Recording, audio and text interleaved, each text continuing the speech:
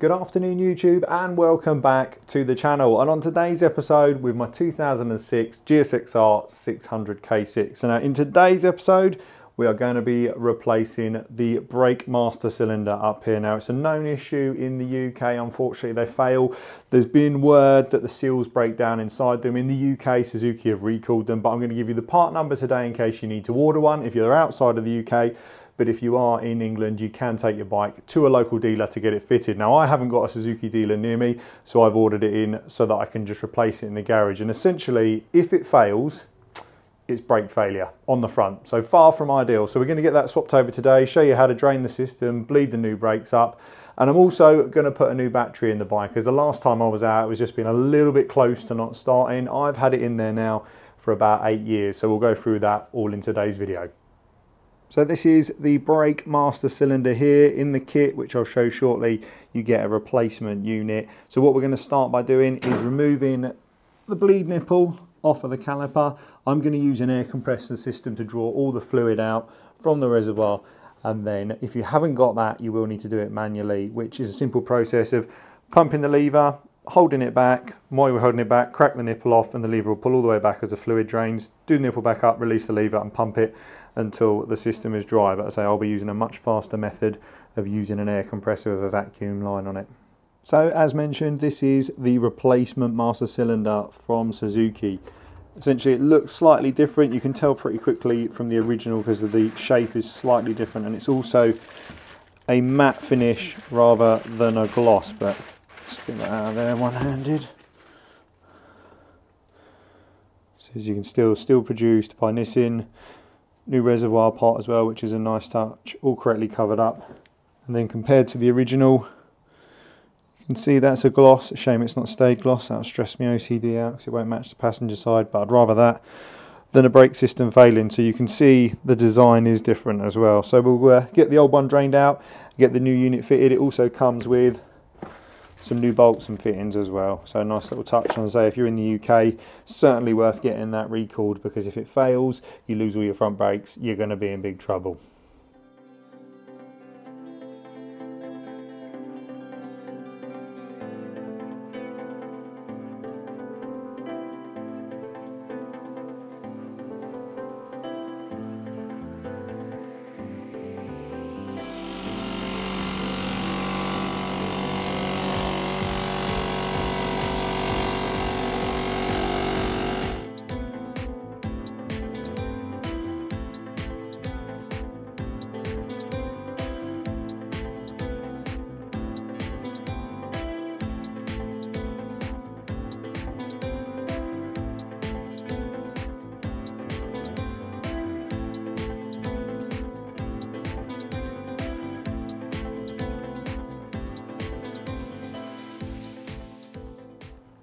With the reservoir completely drained, you can now undo the 8mm holding the bracket onto the clip-on, the two 8mm holding the master cylinder onto the clip-on as well.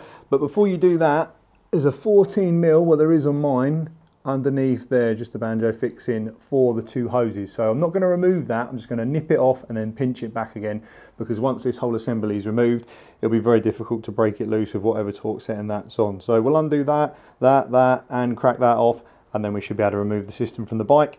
I've also put a cloth under here because if any brake fluid does drip on the bodywork, it will take the paint off. So you just need to be a bit cautious of that.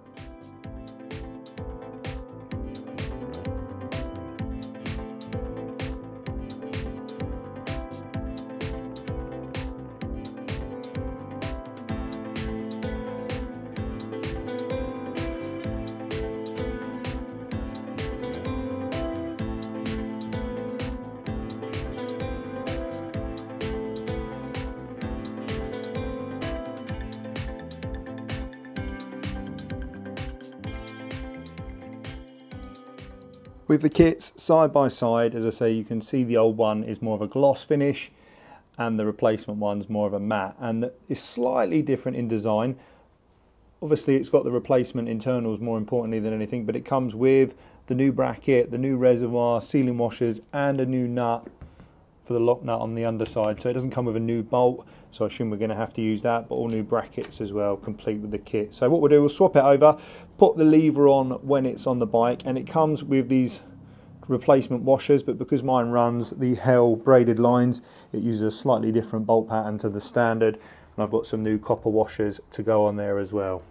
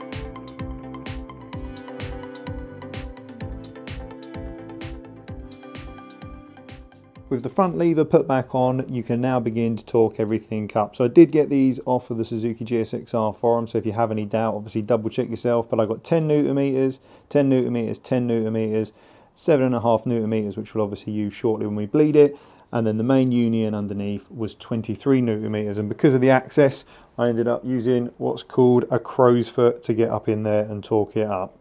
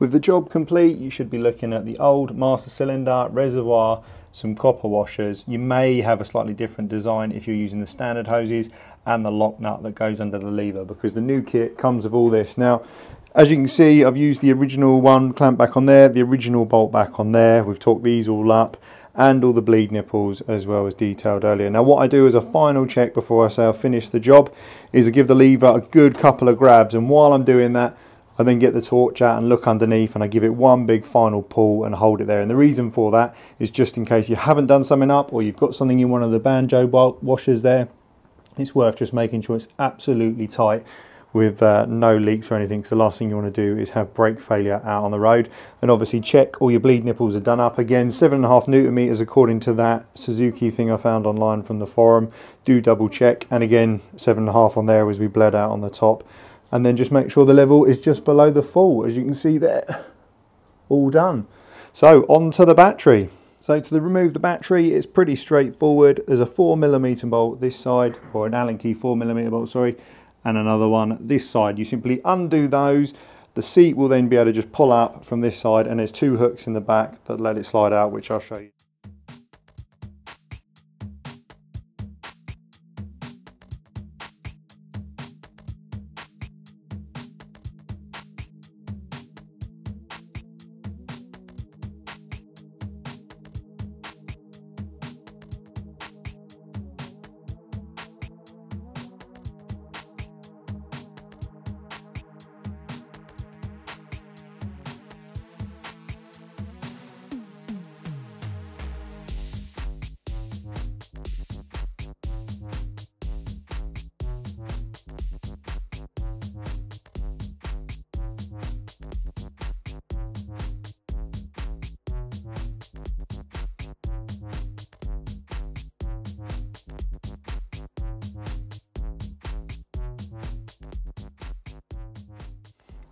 So with both batteries on the bench, we have the old one that I've removed from the bike, which I've had on there. It's got to be eight years plus now because it was on the bike when I bought it. And like I say, it was just nearly to the point it left me stranded and didn't start the bike a couple of weeks ago, even after being on charge.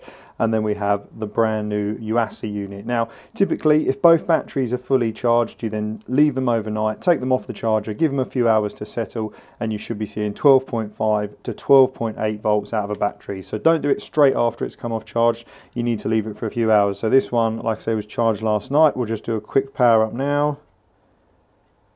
12.3 and as I say it would still start the bike it would just really struggle if especially if you left the lights on or anything like that. So the brand new one again charged the day before so it's been left standing even longer.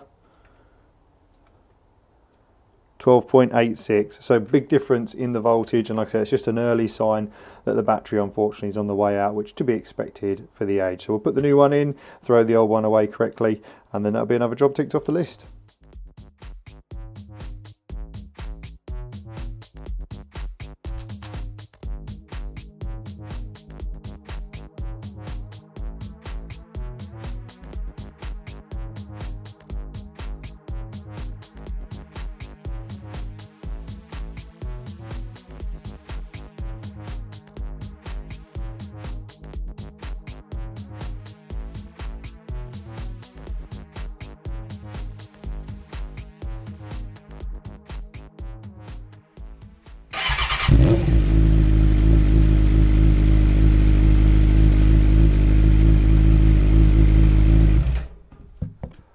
So that wraps up the master cylinder replacement and the battery change as well. If you did enjoy the video, do make sure you hit the like button and consider subscribing. Until next time, thanks for watching.